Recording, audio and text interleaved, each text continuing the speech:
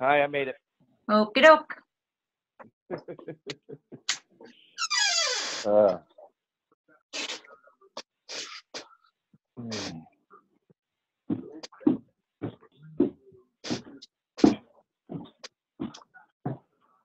Ah.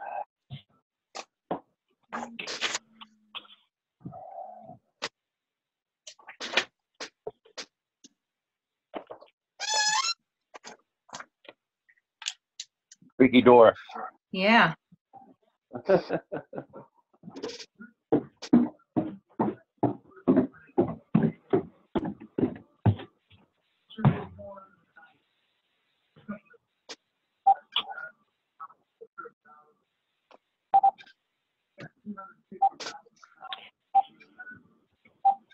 All right, so Dick, John, and Barb are on. We have Will Reisig recorder, Hank Benesh recorder as well, and then Bill Terry, uh, looks like Hank, uh, Pat Kelly, Barbara Terrio, um, and Julie Atwell.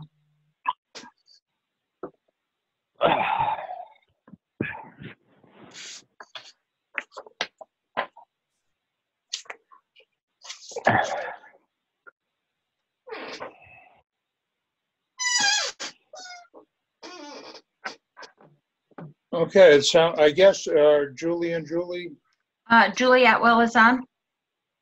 And Right. Julie Hoyt, I imagine will be calling on, calling in.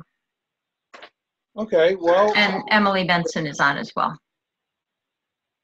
we have an- everybody that needs to be here, so Yes. I would call the September 22nd Selectmen's Meeting to order by Zoom.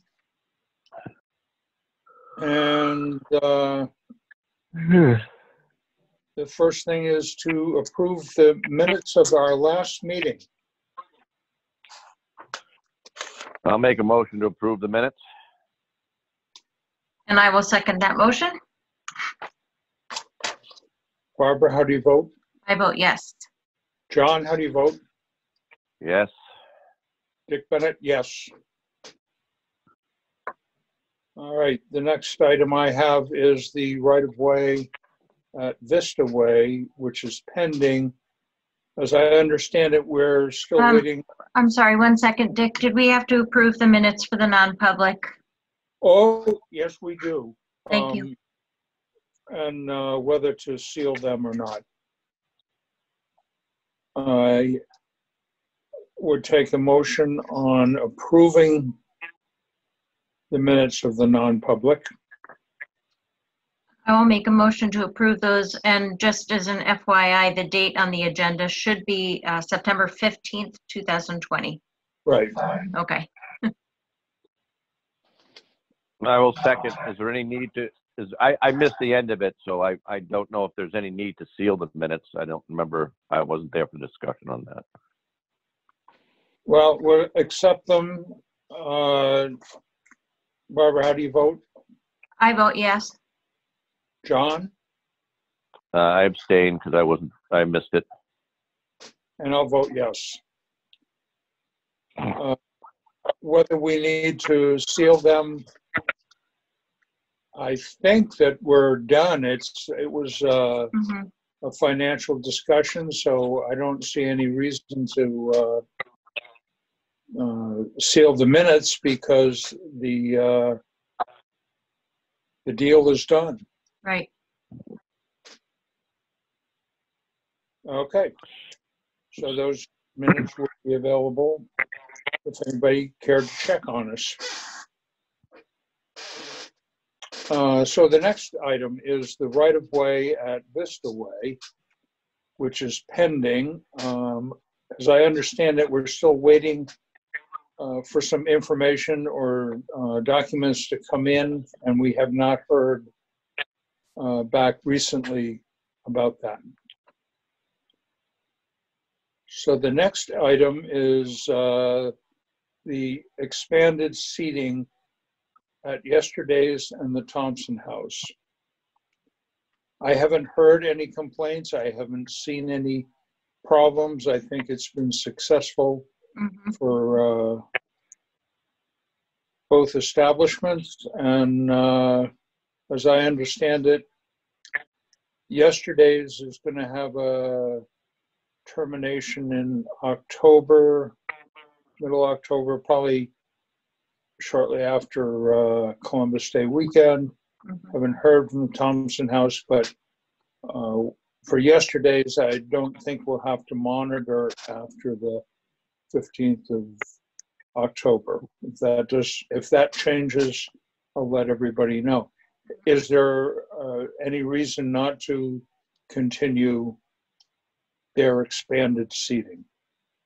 I don't have see none. Any reason? No, That's great. I think it's worked out for them. I agree. Okay, the next item is the uh, Jackson Falls Committee update. Um, I know Barbara Terrio is on the line, so let me just see if I can. Barbara, can you unmute your phone?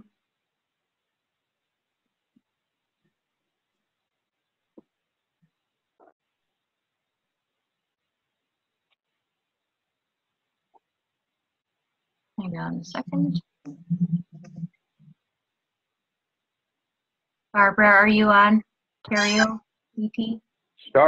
Star, star six There usually we go. unmutes. I'm here. I'm Okay. here. Sorry, I had to pull off the road to unmute myself. Um, we have, um, after our last meeting, I'm just really happy to say that we've, um, we have added members to uh, the original committee. Um, actually, there are four members of the conservation um, committee that are um, now on the committee, and a couple more um, local residents.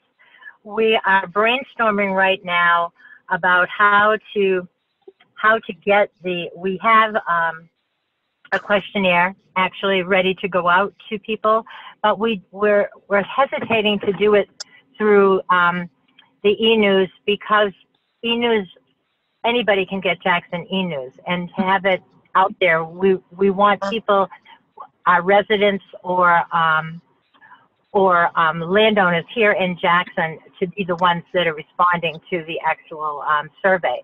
So we have um, pretty much thought that the best way to do it would be for the voting list because these are people who are registered voters in Jackson, therefore they must be residents or they must be landowners. So we are just now looking into what it might cost to do that. Uh, we're thinking that if we can get emails on the list, we could actually do it online and have them go to a certain code to be able to get into it. But we'd also be having um, a paper one for those members of our um, of our village and, and town that are not tech savvy and would not do something on online. So that's pretty much where we are right now. Um, we have ha- also had some correspondence through um, Emily with um, the Forest Service and possible funding that there may be for such a survey. So that's what those are. Those are all the things that we've got going on right now. That's great. I'm glad you had such an uptick in participation too. And if you want, when you get the cost for the mailing estimated, just um, give that, let me know or something and reach out to me and then we can discuss on how to get that covered or, you know, what, how much it's going to cost and what we need to do. Perfect. That'd be great, Barbara. Thank you. Can I just? Only- My only, que- oh, go ahead. Um, this is Emily. I'll come back. Um, that was, um, the possible funding was actually through, through the Park Service. Just Okay. get that. Oh, okay. Sorry. Um, that's okay. Thanks for your response. Um, and, um, yeah, so that, that was, My, my question is, if you do just the voters, you're not going to get the landowners because they are not necessarily voters. We want the voters. Right, but the landowners have a stake in it too. I mean, Um, I, I I think that if we start, we have to start with those people that are, they do have, they are taxpayers, but they're, they're not necessarily up here. And, um, and I, I could possibly are not even aware of the, um, of what happened this summer. And, um, and, and for us as taxpayers and the people in, in the village as taxpayers and the voting populace in, in Jackson, not to have the right to use their, what belongs to them is why we're sort of going with the voting list. Um, because those are, those are people that are here all the time. So summer residents won't have a say. Um, well, I, I imagine they would, but we have to start somewhere, John. If we have all the information to get those landowners, yes, absolutely, we'll reach out to them as well. The one thing we wanted was just not, there are some landowners that are also Airbnb owners. And um, so they're owners that do not vote in Jackson, but they're not even in Jackson. And as the selectmen themselves have admitted, we don't know who half of them are. So um, I, I don't, I, I get, it's well worth a discussion of, um, of us, you know, expanding a little bit. But at the moment, the one thing we wanted to focus on is the people that are going to be here to vote in March. I, I think it might be worthy to put a, just a yes or no question or um, some kind of a checkbox that says, are you a full-time resident? Um, versus someone that's just a registered voter, and then maybe we can determine who we're missing out of that population. You know, maybe, maybe make that uh, just a yes or no question or uh, something on the survey that would help delineate who you're talking to. Because I That hear is actually, that is one of the questions. Okay. Uh, But we're, we're, we're, what we're trying to do is there are enough, if we did that right on, you know, right on, um, on the Jackson E-News, who knows who would be hearing from? Right, And so that's why we're trying to get it to um, residents and landowners. So we really have to be careful who we're reaching out to, if you know what I'm saying. There could be people from North Conway who are, are, you know, are going to take that survey. right. Yeah, we just learned more that e-news goes very far and wide, so it wasn't going to be as effective as we thought. Yeah. But that's certainly, we, I'm certainly, that's up for discussion, John, and we'll do it again at our next update as to what, uh, what's for, foremost on our minds is being able to get this out as soon as possible while this is still raw in everybody's craw. and, um, and, and that's one of the reasons we don't want to too abruptly, but we, we do want to seriously look into it.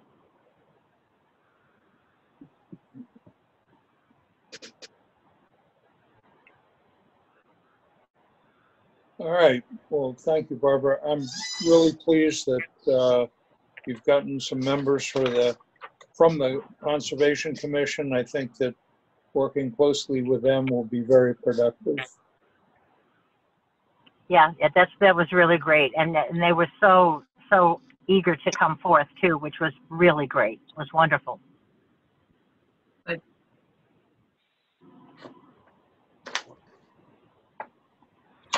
All right, well, it was good to hear from a committee dealing with the problems at Jackson Falls.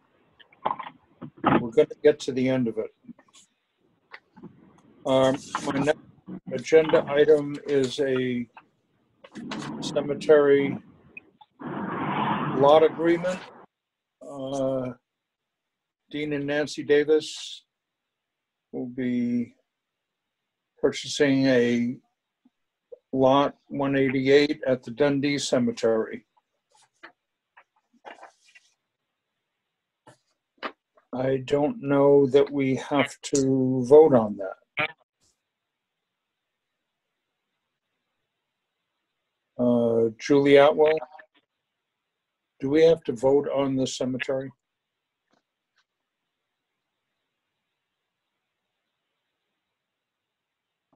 Julie, Julie, are you there?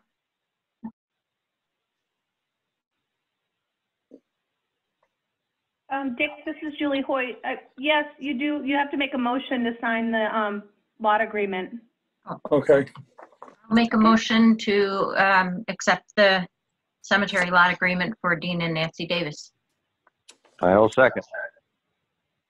Barbara, how do you vote? I vote yes. John, how do you vote? Yes. Dick Bennett, yes. Am I unmuted now? Yes. All right. I hope they don't Okay. need to use it for a while. True. Agreed, Dick. Good to plan ahead, but. Okay, our next item is, oh, a uh, withdrawal from the trust funds. Dear trustees, the Board of Selectmen are requesting the following withdrawals from the trust funds as indicated below. $141,321 from the Highway Truck Capital Reserve Fund 0048. See the attached uh, invoice from McDevitt Trucks. Could I get a, that's for the new highway truck. Uh, Could I get a motion on it? Dick, can you just say when that was invoice was dated? The invoice is dated 15 September 2020. And that's per the uh, agreement that we made back a while ago to purchase that truck. It's just Yes. coming due. I'll make a motion to approve the withdrawal for the new highway truck to McDevitt for the hundred thousand plus. I didn't get the full amount, sorry. $141,321. One forty-one, three twenty-one to McDevitt. That's it. I will second. Barbara, how do you vote? I vote yes. John, how do you vote? Yes. Dick Bennett, yes. Okay. I hope they're happy with that truck. I do too. Uh, let's see.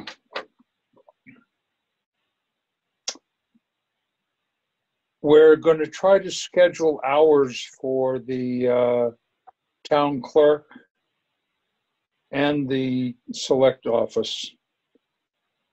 And that will be uh, at the windows. You're not coming inside the building. But it'll be available during normal working hours remotely. Monday through Thursday, nine to three, and Friday, nine to twelve. Available walk-up windows, hours, with no appointment will be Tuesday and Wednesday, oh, Tuesday, Wednesday, Thursday, nine till one. And I just want to also say that if people need to access anything in the office, either through the select office, the town office, the clerk's office, they have been very, very accessible and um, uh, just flexible as far as making sure that people get what they need in the, in the office if they need to. So I, you know, encourage people to still phone, email if anything is needed. Okay, so I would uh, entertain a motion on the window hours. I'll make a motion to approve the window hours for the select office and the um, town clerk's office. I will second. Barbara, how do you vote? I vote yes. John, how do you vote? Yes. Dick Bennett, yes.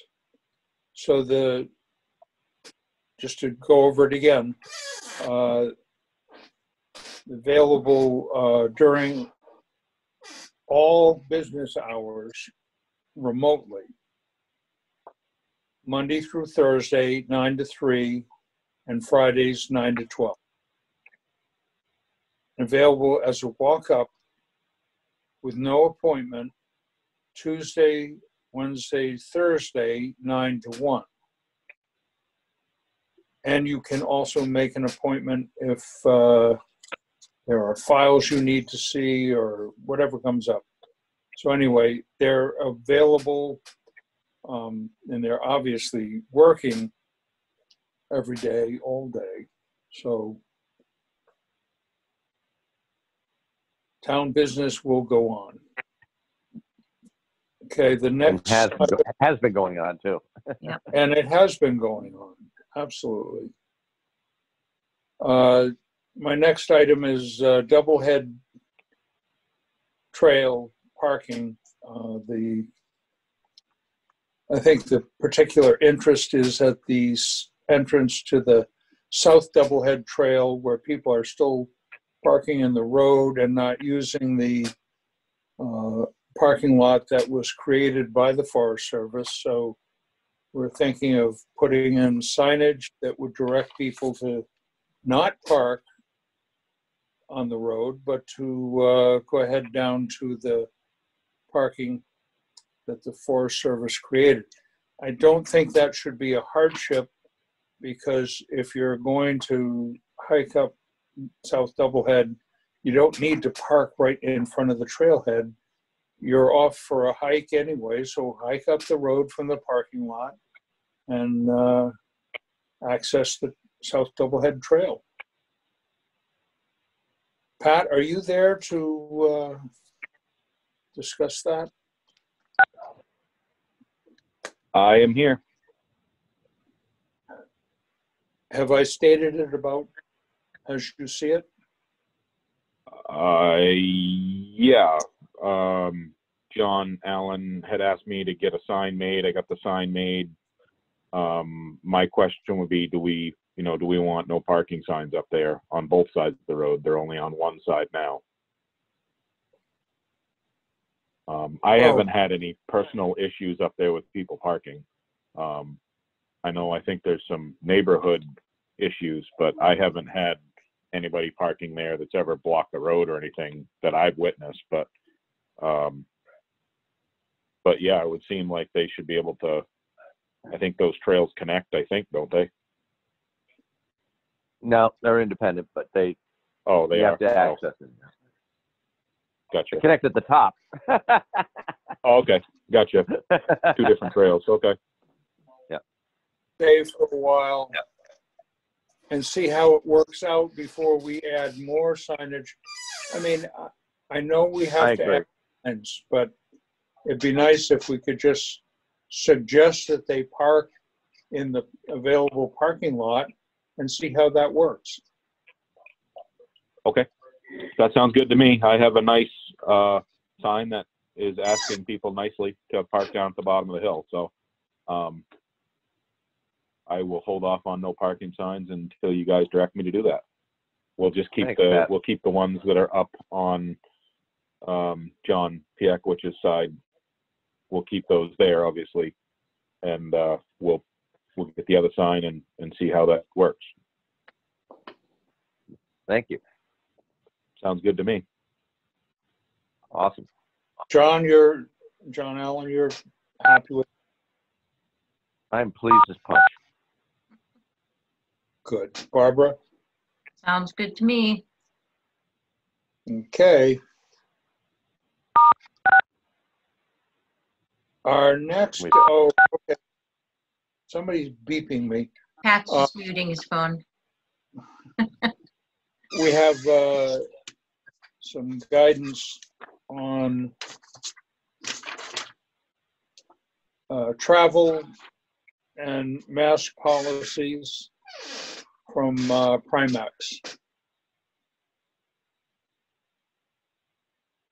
And I, has, any- as Barbara, have you had a chance to look over the recommendations? Yeah, I did. I, I think they're sound and level, they let, allow for consistency. And John, did you get a chance to look over them? Uh, only briefly. I did not look at them very long, though. I did not look at details, unfortunately. Well, I can go through it. Um, you know, do you have a fever? Have you traveled outside of New Hampshire, Mass, uh, Maine, Connecticut, Rhode Island, Vermont? Um, I think it's, they're just the guidelines that we can, uh, put in place to kind of try to keep everybody safe. I mean, we just hit the 200,000 death mark in the country, and uh, we're certainly not slowing down. So I think that everything we can put in place that uh, keeps uh, you know our employees safe, keep everybody safe, and I, I think it'd be important to uh, implement it for our town employees, and then uh, hope that uh, town residents would adhere to similar guidelines. Well, that was my question. Do we want to make this a requirement for town employees to follow, to wear masks in, in, uh, when they're on property that's owned by the town of Jackson? Or on duty. Yeah, yeah. And Emily, I know you're on the call too, if you want to speak to this, I guess, but Yeah, I'm, I'm um, in favor of it. I'm, I've sent sent some information to you all. Um, was looking at some additional. I have not seen exactly what Primex sent, um, but it does sound like some pretty standard screening protocols. I mean, if employees are able to maintain six foot distancing from people, I don't see that a mask needs to be required. If you're on a Jackson Town property and there's no one around you, or Mhm. people are further than six feet, um, I don't think it's necessary to have a mask. Um, there's some great mask information that um, just sort of general information through the CDC, you know, how to protect yourself and others. Um, again, that combination of masks, six, six foot distancing, being outside, washing your hands, um, making sure that everyone's aware of that. Um, I sat down with Jay just this afternoon and started to look at sort of reviewing some of the um, protocols that were going on at the fire department. Um, they already have part of their equipment, you know, that they use um, when they're responding to calls that acts in the same way that, that the mask does. It's a recommendation that firefighters not have cloth masks on them um, when they're going to a fire because you've got enough equipment um, that acts in the same way. So I think the big thing is, is that if people are traveling out of New England, um, to to monitor their symptoms. And Mhm. we now have four infrared thermometers in town. Um, if someone's coming into the town offices, you know, we're to Dick's point, we want to maintain the health and safety of of everybody in town. And um, being cognizant to that when you're inside, you know, put the mask on if you're going to be in be in the town offices, um, especially in close proximity to others. So, yeah, I um, guess, I mean, if there are meetings that, um, that are taking place where there are multiple town employees in one of the buildings, for example, at the fire meetings or the highway meetings, do you feel like they should be masking? If there's 10 people in the room, I mean, I doubt Well- apart.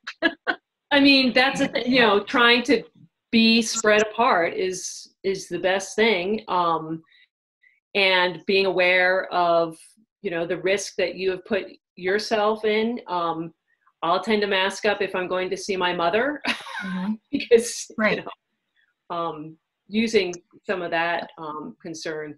If you have your own health conditions to be aware of, others you know are in um, who might be in you know in higher risk categories. So obviously, if we could all be outside, that would be optimum. But um, inside, just keeping those different things aware of, and don't go to those meetings if you are showing symptoms.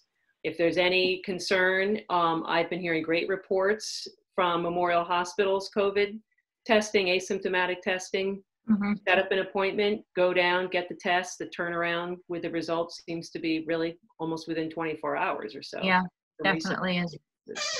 so, um, so that's where, and so I, I don't know specifically, again, what Primex is, um, you know, if they have those even more re- recommendations, but, um, it's just looking at CDC guidelines for EMS personnel as well, and I can, um, send that along, but, um, you know, they're, again, cleaning equipment at the firehouse. I haven't been in touch with Chris Purley in terms, of Chief Purley, how they're doing things there, but, um, that's my thought on it right now. Well, I think we could implement uh, for town employees, if you're going out of New England and uh, have been out of New England, you come back and uh, you self quarantine. I mean, that, I think that's a fair request.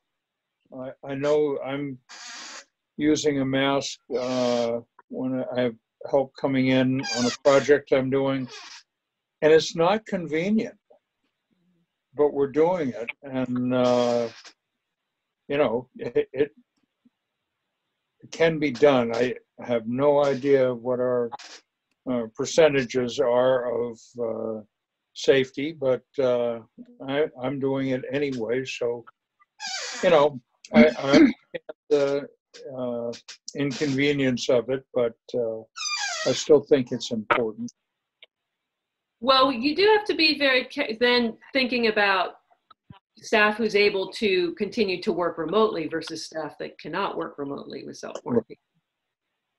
I mean, in terms of, are they paid for that time if they're not able to come? Yeah, I, and I think this gets into a much deeper policy if we want to get into a written policy. So um, Exactly. another company that I've been working with has, they use the New York Times. Um, there's a, a link to the New York Times list that's updated by county, by state. Mhm. And it's the number of cases per 100,000 employees or, or not employees, uh, uh, population. So there's guidelines that you can use for what is a hot spot or a hot area.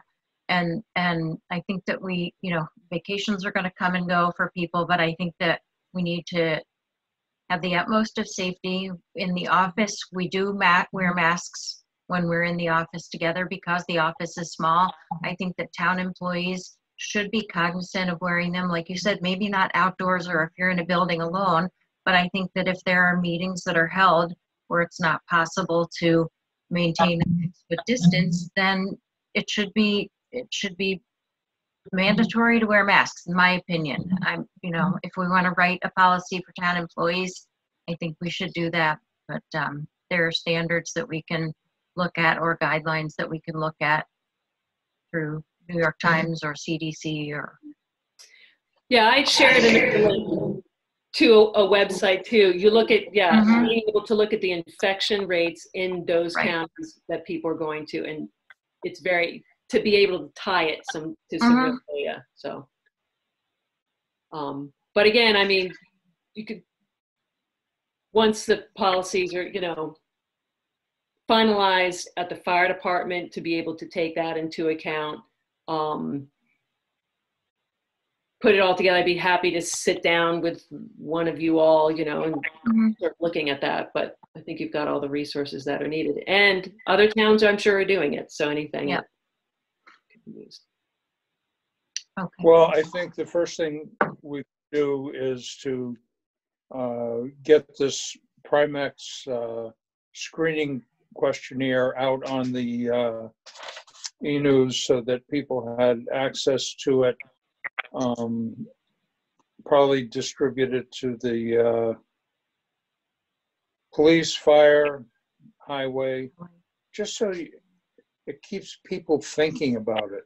Because I think that I think, I think the tendency might be to, well, we're doing well, New Hampshire does well, we're cruising along, everybody's okay, okay. You know, don't let down your guard. So let's put this uh, questionnaire, screening questionnaire out.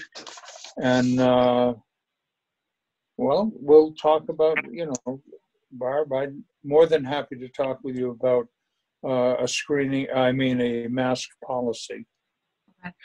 Can I just clarify though, putting it out on e-news um, to let people know that they have to do this to come I into have the. a sheet that we could just electronically punch in.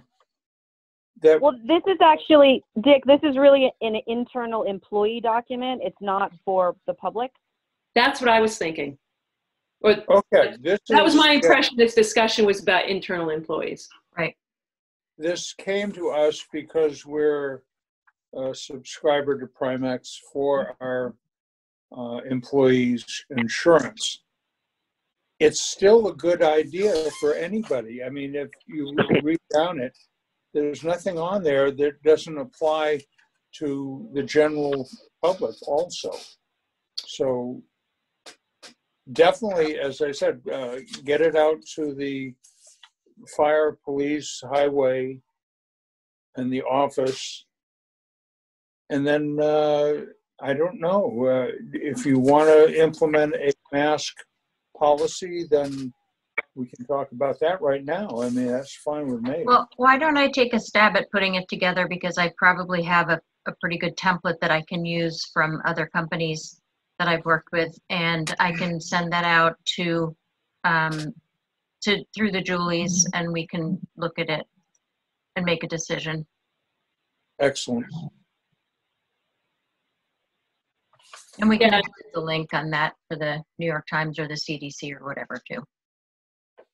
Okay. And hold off on the form going through e-news. Yes. That's not necessary. Yeah, Okay. and, uh, and, uh, not, Dick, not to be, um, negative or anything, but boy, if everybody doesn't know the questions already about, have you been a- out of the state and do you have sniffles and a cough or whatever, but, uh, True. Yeah, but it is nice to have a reminder once in a while too, so, And certainly as the town office is open, don't come if you're yes, seeing those symptoms. right, Right. right. Okay, I'll, I'll- I'll get something out for a draft, All right, thank you. Of course. Um, if, Dick, if I could just backtrack to the, um, the town truck that we just purchased. I did want to, I did want to just, um, make mention that we did sell the old truck to the town of Lempster. Um, and we sold it for thirty thousand dollars that we'll be receiving the funds for. So, um, we were pleased to be able to get a good amount of money for it. Pat, uh, takes great care of the highway vehicles, so it was in good shape um, even for the age it's in. And the town of Lempster is thrilled to be getting a, a vehicle because they're not a uh, large town. So uh, we advertised it, and that was the um, that was the price we were able to get. And we did not get a lot of traffic on it, but it was nice to be able to sell that and put some money back in the bank. It's always good to take some money back in. Uh, Okay, oh, one thing that isn't on our agenda, but I'd like to add is the uh, drought. I mean, we've been getting drought warnings. I think people with dug wells are probably looking down their wells and going, where is the groundwater going? It's been really dry. Mhm. And I would just encourage people to be really cautious about campfires or backyard fires, fireworks. Um, just be really cautious. It's plenty dry out there. Mhm. And no, no fire permits are being issued. No fire for- permit. And, uh, you know, your water use, you should really monitor right now because, uh, watering your lawn right now is probably not that important. So anyway, try to be aware of the drought.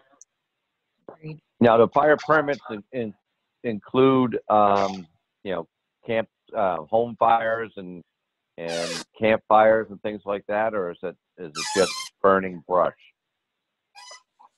I believe it's It's just for uh, brush burn, fires. burn and- pits. Mhm. Well, burn pits too, It is burn pits. isn't it, Julie? Hello, hey, it's Jay. Hi, Jay. Hi, Jay. Um, you want me to make a comment on that? Please. Love it. So, yeah, fire permits are not being issued. Um, Kenny and I, Kenny, who's the forest warden, have been talking a lot about it. Um, the one problem we have had very recently, which we're working on, is some of the seasonal rentals um, have still had. We've gotten some complaints on some seasonal rentals that people because they're only here weekends, they don't know, might not know what the law is. So we've been trying to deal with that with some seasonal rentals and getting the word out that they got to have a fire permit if they can even get a permit. Um, so we've been dealing with that. Now, is that just for fire pits? Well, campfire, a campfire, whether you call it a campfire or a fire pit, um, Okay. or yeah, that you got to have a permit for that, right along with the people burning a brush pile. Okay. So we have That's had. what I thought. I just wanted to make sure it was clear because uh, Yep. at the store the other day, some people were buying wood, and I said, "Geez, you got to be really careful about the forest danger, forest fire Yeah. danger." And and I just want to make sure it's clear to people that you know that burning outside was really not a good thing to do right now. Yep, no, that's correct. And like in campfires or fire rings or fire pits are, are need to have permits. Um, we did have a forest, well, we thought we had a forest fire last week, um, up in the Forest Service, up off of Iron Mountain. And we managed to, after two days worth of work and a helicopter ride, we finally found it, which was a camp, a campfire that probably sparked back up after who knows how many days or Wow. um, Wow. which was on the edge of private property, right on the edge of the Forest Service land. So probably a lot of people saw a bunch of Forest Service firefighters here, ATVs here from the Forest Service and trailers. And actually, uh, I went up in the helicopter trying to locate it the day before they got here. So we did have that issue. So big, big thank you to Steve Cheney for coming out with a helicopter and helping us try to find it. Yeah, it must have been fun. Oh yeah. um, so that's yeah, it's it's dry, it's dangerous. Um, they're actually tonight we're doing some stuff with the forestry truck to hopefully prepare ourselves if we have any more issues. We also went to Bartlett for a uh, recently for on the railroad tracks up by Arethusa Falls for our train Started the woods on fire, so we had to put our forestry truck up there on the railroad tracks to put the fire out. Super. Thank you for that. Mhm.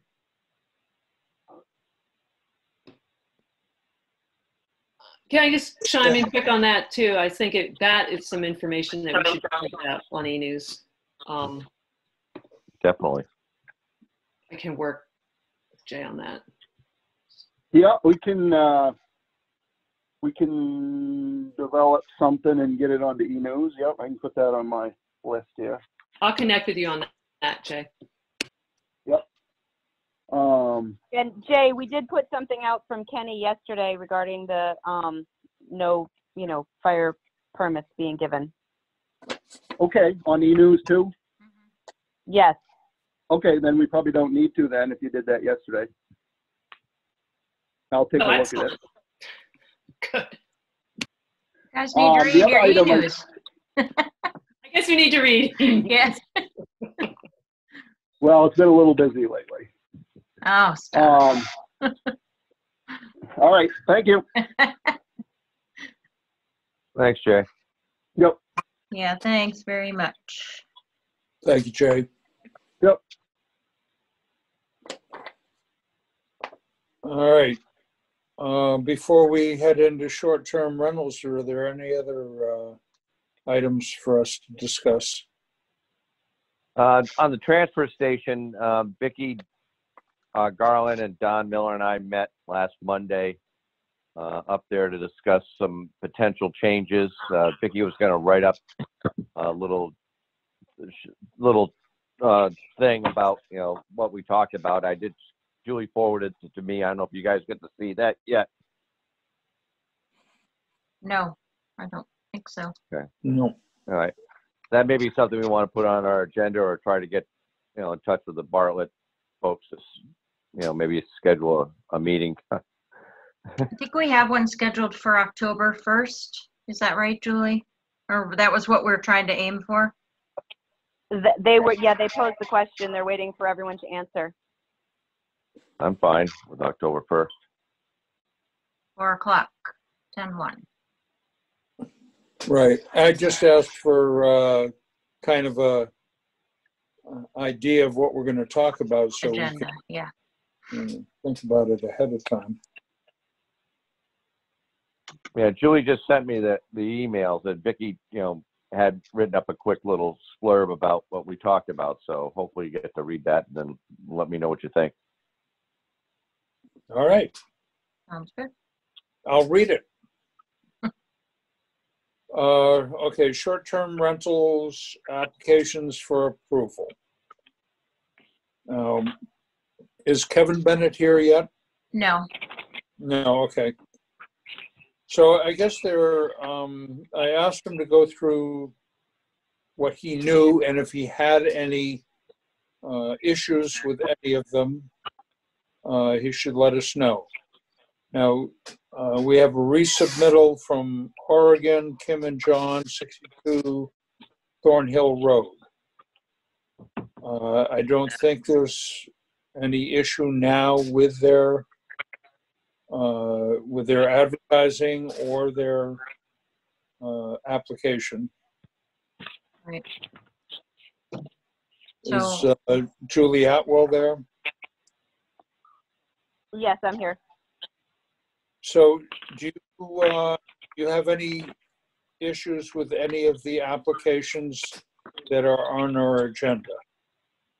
Um, I'm gonna let Julie Hoyt respond to that one. Absolutely. Pass the buck. Julie Hoyt. Hi, no, there are no, no, no, um, no issues with them. Everyone has, uh, posted or ad- advertised their, um, houses correctly, so there's, there's, they're all good to go. Awesome. And do they, they need a permit for each house, is that correct? Yeah, you're talking about the, yes, yes, they do, for each Well, house. like Absolutely. Armstrong have two, uh, applications, I guess. So they are applying for two Yeah. different addresses. Yes, they have two houses, right, the Armstrongs, Okay. yes. and Bill did, Yep. Bill Terry wanted to make a point. Can you unmute, unmute Bill?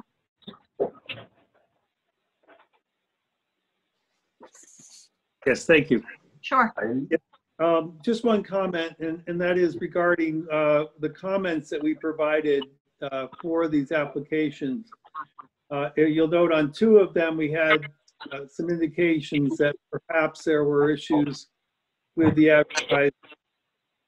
And uh, when I, when we reviewed subsequent, uh, either Julie earlier or we checked after, changes had been made to uh, affect the advertisements so that they were set properly for the number of guests. The one comment I will make is, is that, for example, in one of the uh, applications, one of the uh, advertisements said six guests, four bedrooms for a two-bedroom house. And so the way the ordinance is set, it's the advertisement for the number of guests, not the number of bedrooms. And so technically, I think it was correct, but I think that may be something when we look at our uh, information changes to the ordinance that might consider uh, suggesting that the number of bedrooms advertised uh, equal to the, the, the septic, and that's a conversation we've had about some other Right. things. Um, That 'cause it was like doesn't- a bad math problem. It does, and advertising for, for, uh, and, and another example was one where, again, they advertised for, uh, ten guests, four-bedroom home, uh, but the pictures show sixteen different beds. Um, so it, it's not quite hu- keeping with the spirit of what we're doing and what we're trying to accomplish. And I think that's something we just need to improve on, on our, on how we state things going forward. Well, we can ask the people how they're going to advertise, what they're going to advertise. And kind of hold them to that. Yeah, and what I'm saying is, is that right now, none of the applications technically are out of compliance. And yet, I think we, we still need to do some work to get better at what we're asking. Yes. So that's it. Thanks, Bill. Thank you, Bill. So we have Horrigan, which was resubmitted, Osborne at 43 Juniper, Armstrong at 86 Eagle Mountain Road, Armstrong at 19 Ridge Road, uh, Malkinson at 25 1 Eastfield Road. Oh, that must be a condominium. Uh, Pappas, 37 Adams Road, Rochefort, uh, 183 through 187 Route 16. That must be something. And uh, Caldwell, Caldwell, sorry, at uh, 200 Tin Mile, Tin Mine. Uh, All those applications are submitted and they, the applications were approved by the planning board. And I would now entertain a motion. I'll make a motion to approve the eight short-term rental applications that are listed on the agenda that you just talked of. And I will second. Barbara, how do you vote? I vote yes. John, how do you vote? I vote yes. Dick Bennett? Yes. Okay, those applications are approved. As Dick, Bill this said, is- Are we gonna go back to the Kudrick one now? yeah, I think we Okay. should. Julie, were you gonna say something else or were you gonna refer to that?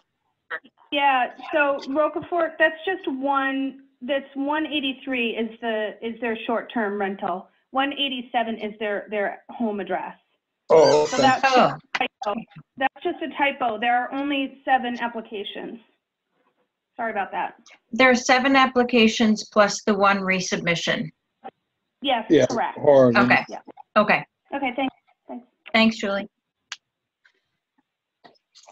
So, um, on, on Okay, back to Kudrick, Kudrick, yes, which is uh, a problem that we're having, who has been asked to submit an application and has not done so. So um, I, I guess we're going to ask our town attorney, Peter Malia, to uh, pursue that. right. And so I will make a motion to authorize town counsel to bring a zoning enforcement lawsuit against the owner of the short-term rental that has failed to file an application for a conditional use permit after being notified by the town to do so. And they have been notified uh, both in writing and verbally and have not responded. And I will second. I- I'll second that. Nope, I second it. John, you second it. I second it, yes. Don't take, give me some credit for something. There. Nicely done. Uh, Barbara, how do you vote? I vote yes. John, how do you vote? Yes, Dick Bennett, yes.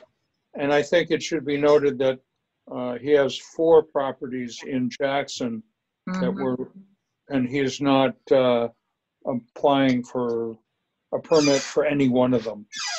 So it's a problem. Uh, It was also suggested that, uh, no, I think Barbara stepped forward and volunteered to be a point person for dealing with short-term rentals.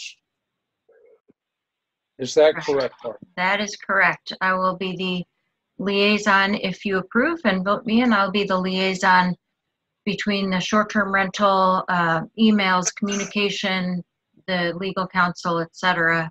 So we can bring uh, topics to the select meetings in an organized fa- format. And I would just say, that, uh, a lot of that may still come to the office. Mhm.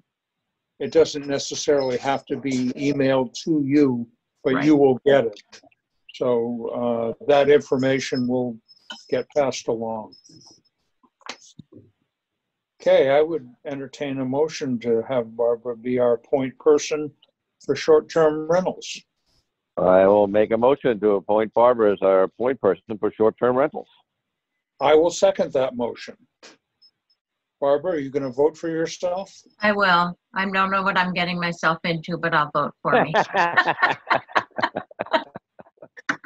John, vote. I vote yes. Dick Bennett, yes. Barbara, you're getting yourself into, I think, a lot of work. Thank you. Thank you very much. You didn't say that before I volunteered, did you? No, no, I I just thought I'd Strategically, summarize that. left out. All right, then we have building permits. Uh, I'm just gonna read through the uh, lot numbers. Okay, permit eight- 86, V10, lot 231, uh, new roof. Kevin Bennett, are you there yet? No. No, he's No. not. Uh, 87, lot 27B, oh, R09, lot 27B is a full kitchen. Um, 88 is V2, lot 10. Replace all the windows and French doors. Wow. 89 is V4, lot 20. Uh, Septic repair and house repairs. Let's see, 90 is R12, lot 36. Uh, Replace existing deck and remodel baths. The 91 is R31, lot 5, uh, mudroom in a garage. 92 has been void, voided. Uh, 93 is R9, lot 27B. Uh, Same one who was before, but he's putting in a new uh, 16 KW backup generator. That's a big one. Mhm. Uh, 94 is V10, lot 131. Uh, Add a porch roof and new roofing. Uh, 95 is V6, lot 28A. Install new windows and doors. Uh, 96 is V10, lot 36D. New single-family cape with two-car garage. Three bedrooms, three and a half baths. All right. And uh, 97 is V1, lot 36. uh, New electrical panel at the tool shed. So we have 97 building permits this year through the first nine months, which puts us about on track with where we were last year, maybe even a few more. So Kevin's a busy man. And it seems like things are picking up this fall. Yeah, Yep. Okay, interesting. they're going to get assessed for that. Uh, let's see, I don't, Um, no, we don't, that's for our information, that's for everybody's information, we don't have to vote on that. Right. Could I Uh, just, could I just step in and make another comment about short-term rentals before I forget? Um, Last meeting, we read into the minutes the letter that went out to all registered um, taxpayers or all taxpayers and property owners in Jackson. So um, I hope that everyone has gotten those and I'm sure we'll see an influx of short-term rental applications. And Bill Terry is shaking his head yes, so I'm sure we already have. So um, that's a good thing. The other thing is that we have a formal complaint form now that is online and that will be the mechanism to file any complaints against short-term rentals. That is against the short-term rental registration process and any safety issues that are um, that are signed for on the application. That does not have to do with complaints for noise ordinance, which would go through the police department and be handled separately. So just to clarify, there are two different um, two different stories here. One is the short-term rental registration process, and if there are complaints against the short-term rentals, and then if there are noise ordinance or other ordinance complaints, those would be going through the police department. I'm sure we will experience overlap and we will also communicate amongst each department to make sure that we're all informed of what's going on in town. But um, we do have the form up now and there is a link to it, so. And that form is also available at the town office if you don't pick it up. Correct. on- That is it. Thanks, Dick. Thank you, Barbara. Okay, we're getting to the uh, upcoming meetings. Our next meeting is October 13th at 4 PM. Now, are we going to discuss uh, a change in venue for that? I would love to have the meeting at the town office with, um, and this is my recommendation personally, but up for review. I would like to be at the town office. I would like to have, um, spatial seating for Dick, John, Barb, six feet apart if you choose to, you know, if we all choose to be there. Julie and Julie would be there. Hank could be there to record. And then if we have any, uh, chair people or spokespeople from any of the department heads or committees or anything that want to be at that meeting, they could let us know ahead of time. So I think there's a maximum of 18 people that could be spatially uh, seated in the, in the room, conference room at the town office, but we would make it first available to anyone that has a reporting or an agenda item on the, uh, for that meeting. Okay, so as I understand it, the meeting would be the selectmen, uh, any department heads, and uh, Julie and Julie. If anybody else has it- comments. It would also, it would also have Zoom information for anyone Right. that did not come to the building. Right. Okay. We'll try that out October 13th at 4 PM. Our next meeting after that is October 27th at 4 PM. And we'll just see how it worked out and where we'll go. Sounds great. And then there's a uh, Household Hazardous Waste Day, September 26th at the Conway Transfer Station from 8 AM to 11:30 AM. And I'll be there for that. Thank you, John. Thank you, John. Actually, John, I don't think they're taking volunteers this year. Ju- I, I believe they said because of the virus. Correct me if I'm wrong, Julie, but I think the pamphlet said that it was just a drive-through, no volunteers needed. Yes, that's all right. correct. Great. I guess I won't be there. Except to drop off my stuff. Drop off all your used masks. So then, are there any other uh, public comments? I have none. I have none. Anybody out there? Nobody else raising their hand. Okay, we're not going to go into a non-public. So I would happily take a I'll make a motion motion to to, adjourn. I will second that motion. Barbara, how do you vote? I vote yes. John, how do you vote? Yes, didn't mean to cut you off there, Dick. A little anxious there.